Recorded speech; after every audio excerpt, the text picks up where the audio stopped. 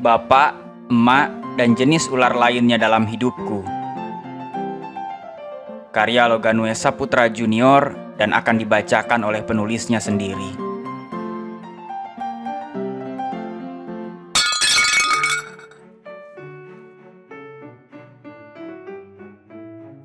Kata mantan kekasihku, aku adalah seekor ular tikus.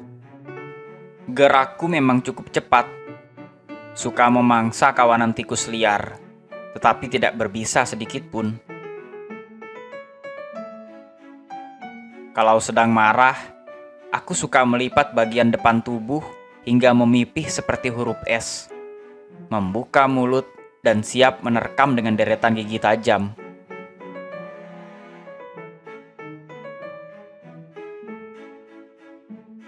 Karena alasan itu juga, akhirnya aku putus dengan mantan pacarku tadi.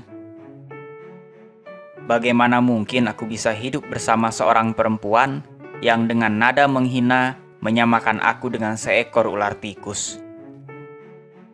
Padahal, menurutku, ia juga seperti seekor ular.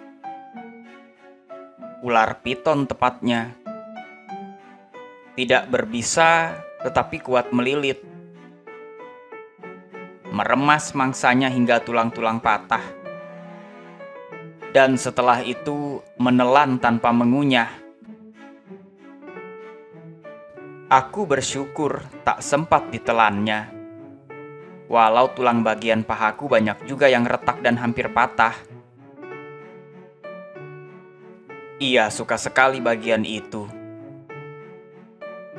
Sebab di bagian itulah aku sering meletakkan dompet yang berisi makanan kesukaannya.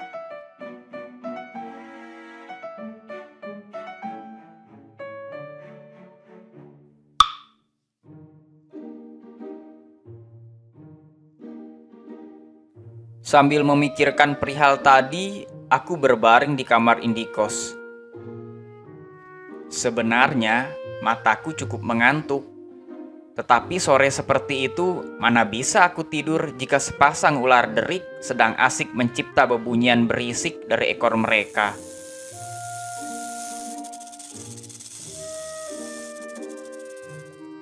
Pasangan suami istri yang tinggal di lantai atas, tepat di atas kamarku, seperti ular derik. Kalau mereka berdua sudah pulang kerja, maka suara musik rock keras diputar. Dan biasanya Hal itu bertahan hingga pukul 5 sore. Jadi kurang lebih satu jam aku harus tersiksa seperti ini hampir setiap sore.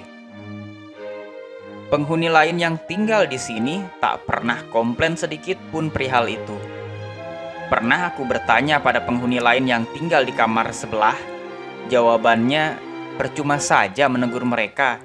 Mereka tidak akan mendengarkan. Kurasa jawaban itu sedikit agak aneh. Kenapa tidak dilaporkan? Tanyaku lagi. Kamu belum tahu ya? Aku menggeleng. Si suami itu kan pacaran sama bapak kos. Mendengar jawaban itu, aku sedikit melongo. Bapak kos memang seorang duda, tetapi tidak pernah terpikir olehku ia seperti itu. Dari penampilannya yang tinggi besar, berbadan tegap, dan berwajah keras, Sungguh tidak terduga. Lalu apa si istri tahu? Tanyaku. Lawan bicaraku menggelengkan kepala. Sejak hari itu, apabila aku berjumpa tanpa sengaja dengan si suami atau bapak kos, aku lebih memilih untuk menghindar. Aku tak ingin pikiranku dipenuhi dengan hal-hal yang tidak-tidak. Bapak kos benar-benar semacam anaconda, besar dan pemangsa apa saja. Bahkan seekor ular derik pun dijadikannya teman klon pemuas nafsu. Ini seperti bapakku yang juga seekor anaconda dulu.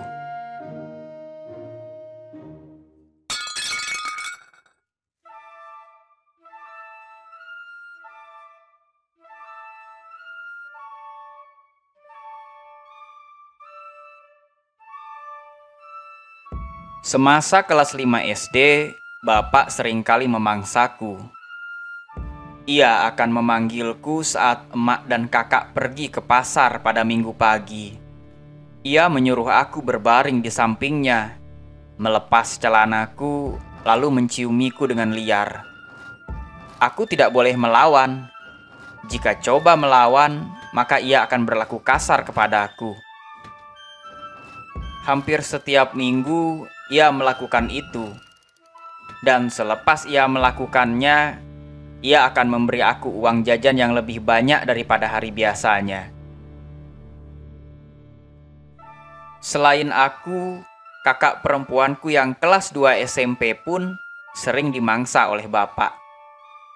Ini terjadi apabila emak sedang pergi. Bapak memanggil kakak seperti ia memanggilku, membawanya ke dalam kamar, lalu setelah itu suara kakak cukup keras macam suara ular derik. Kalau itu terjadi, aku lebih memilih bermain keluar rumah bersama teman-teman lainnya. Atau pernah juga bapak membawa teman-temannya ke rumah. Hal ini ia lakukan waktu emak dan kakak pergi mengunjungi kakek yang sakit-sakitan di kampung. Bapak tidak bisa ikut karena alasan pekerjaan, sedangkan aku ada ujian penting. Teman-teman bapak banyak macamnya, kadang perempuan, kadang laki-laki, terkadang juga campuran keduanya. Akan tetapi, mereka semua baik kepadaku, ramah, dan tidak ada yang sombong. Hanya beberapa hal yang aku benci dari mereka, yaitu mereka suka mengganti kulit di rumah. Kadang malah berkeliaran di rumah tanpa kulit sama sekali. Kalau bapak mengajak teman-temannya tadi ke dalam kamar, aku akan mengintip mereka dari renggang pintu yang sengaja mereka biarkan. Aku melihat bapak mulai melingkar-lingkar di tubuh teman-temannya, memangsa mereka dengan sangat liar. Biasanya hingga teman-temannya tadi muntah, atau bapak sendiri yang muntah. Pernah sekali aku bertanya pada bapak, mengapa ia menjadi anaconda? Tetapi bapak malah marah dan mengancamku sambil bilang untuk jangan pernah membicarakan hal itu. Aku tutup mulut, tidak pernah menyinggung perihal itu lagi.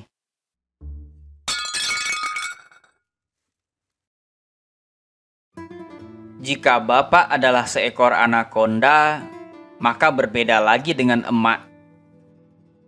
Ia adalah seekor ular sendok. Mulutnya penuh bisa, berbahaya, dan mematikan. Tetapi sangat penyayang dengan anak-anaknya. Kalau ia sampai tahu anak-anaknya diganggu, maka ia akan membelanya sekuat tenaga. Pernah kakak perempuanku dipukul oleh teman sekolahnya. Emak pun datang ke sekolah menuntut keadilan hingga anak yang memukul kakak dikeluarkan dari sekolah. Tidak hanya itu, emak lalu mendatangi keluarga anak tadi dan meminta ganti rugi sambil mengancam akan membawa permasalahan itu pada polisi. Akan tetapi, walaupun emak sangat mengerikan seperti itu, ia tetap saja tak bisa berkutik apabila berjumpa dengan seorang pawang ular sendok. Aku pernah melihat emak sekali menjadi sangat jinak pada seorang asing, seorang lelaki berwajah India. Waktu itu, emak sedang mengantarku ke sekolah. Mampir sejenak ke rumah lelaki India tadi. Aku disuruhnya menunggu di luar. Tetapi aku bisa melihat lewat jendela. Emak memeluk lelaki India mesra, menciumnya kemudian membicarakan sesuatu. Entah apa yang mereka bicarakan. Setelah itu, emak memberi orang India tadi beberapa lembar uang. Tak pernah aku melihat emak begitu manja. Terlihat rapuh serta lembut.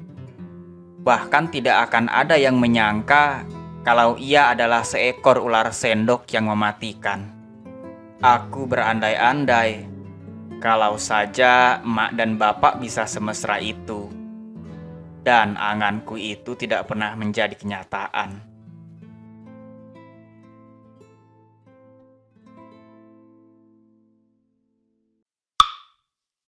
Suatu hari terjadi pertengkaran besar di rumahku.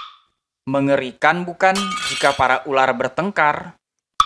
Bapak kepergok emak saat sedang memangsa kakak perempuanku. Leher emak jadi memipih dan melengkung. Taringnya berkilat. Dan racun yang dimilikinya siap untuk disemburkan kepada bapak. Akan tetapi, Bapak tidak selemah itu bisa diterkam emak. Bapak melilit emak sangat kencang. Mungkin ia akan meremukkan tubuh emak, membunuhnya. Aku ketakutan. Demikian juga dengan kakak yang berbaring di atas tempat tidur tanpa kulit. Emak berkali-kali coba mematuk bapak, tetapi bapak terlalu kuat untuk dilawan Bapak melilit leher emak, membuat emak susah bernapas. Aku yang panik tak tahu harus berbuat apa, mengambil pas bunga yang ada di atas bupet, lalu memukulkan benda itu ke kepala bapak hingga pecah. Kepala bapak berdarah. Ia melepaskan emak, lalu berpaling padaku yang mundur ketakutan. Namun saat bapak ingin menerkamku, emak lebih dulu menancapkan taringnya, lalu menyuntikkan bisanya ke leher bapak. Bapak roboh, menggeliat kesakitan. Tubuhnya membiru meregang nyawa. Sejak itu, aku tak lagi punya bapak.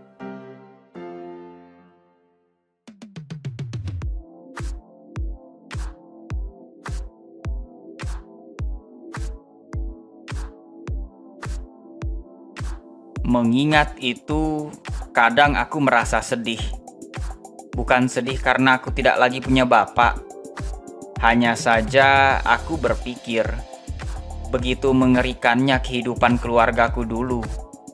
Keluarga ular yang berusaha menjalani hidup manusia normal. Ah, apa benar ada kehidupan normal? Kira-kira seperti apa kehidupan normal itu? Dan sebagai keluarga ular, apakah kehidupan kami ini juga bisa disebut normal? Saat ini, aku hidup sendiri di sebuah kota jauh dari emak dan kakak perempuanku. Sudah lama aku tidak berjumpa dengan mereka.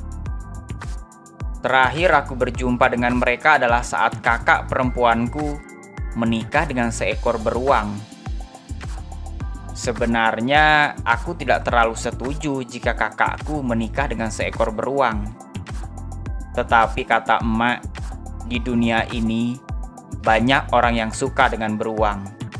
Dan kakakku adalah salah satu dari orang-orang yang emak maksud.